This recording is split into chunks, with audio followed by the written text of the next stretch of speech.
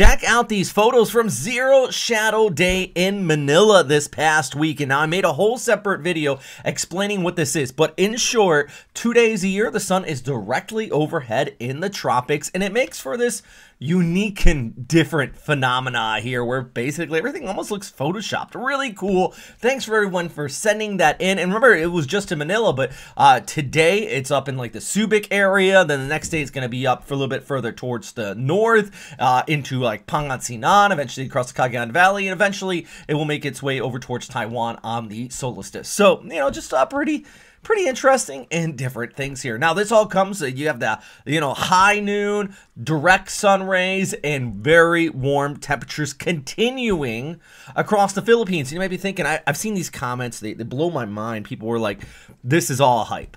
This is a great graphic. Lex uh, here from Westpac Weather put together uh, all across Luzon. And these are temperature anomalies indicated in red above average temperature. Darker red, about 2 degrees above average, throughout the month of April and it is incredible. The second half of the April, these are not temperatures. This is above average temperatures in red here.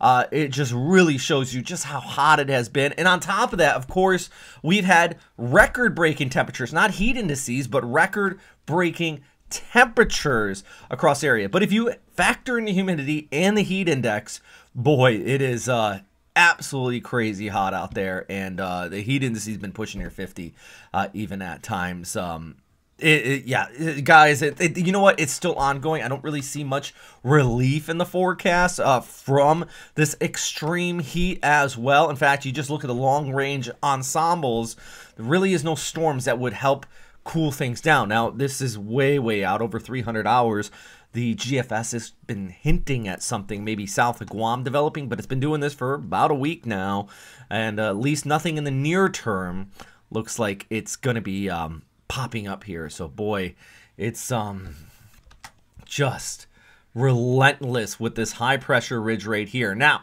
we do have a couple of lows passing towards north. Here's a pretty decent one. Uh, with that, we may actually see kind of a front dip down, and that could track across uh, northern uh, areas of Luzon, kick up some showers there for you. Plus, we're continuing to deal with the easterlies, which is bringing some cloudy skies and even bits of rainfall for parts of uh, Mindanao. You can see actually the latest bulk right there, kind of kicking across there, but uh, everywhere in the middle, this heat, this high pressure ridge is continuing to dominate, and that's what these isobars kind of sticking out here and uh, just continuing to bring the heat with not much happening out here in the tropics. That's where your ITCZ is, and I just don't see much, if anything happening uh, across that area there. So boy, it's just ongoing. Now this is through midweek, as I mentioned. Wednesday could get some afternoon showers, kind of kicking up thanks to that front passing towards the north. You can see it right in there, even over towards Thursday afternoon.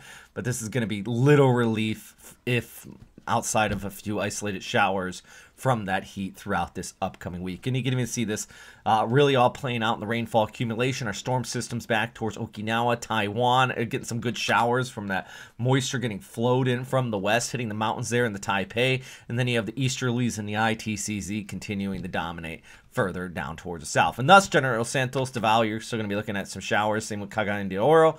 And then we go further towards the north. Some on and off clouds across good portion of Visayas, but still staying on the hot side for a lot of you guys out here. I don't really see much in the form of relief. And then we scoot further towards north here on Wednesday. Could get some showers in the higher elevations in uh, Luzon. You can see Batac out there in Ilocos.